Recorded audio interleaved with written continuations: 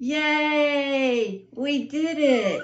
Yeah, Einstein, we hit our goal of 200 orders. So that means your Einstein Talking plushie